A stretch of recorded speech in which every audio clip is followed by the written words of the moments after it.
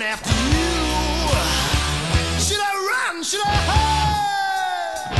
Should I stay and lose my pride?